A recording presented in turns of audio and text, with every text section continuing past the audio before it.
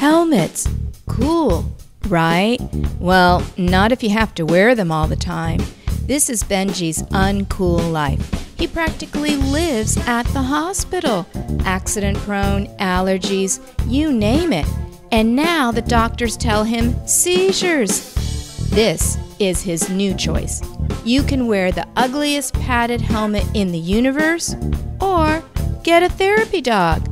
Welcome Elvis, the Newfoundland, a 200 pound bossy dog that talks. Well, only Benji can hear him.